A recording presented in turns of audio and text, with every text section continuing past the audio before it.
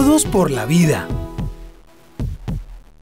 Mi nombre es Rosamelia, soy la presidenta de la Junta de Comunal Nuevos Conquistadores Parte Baja.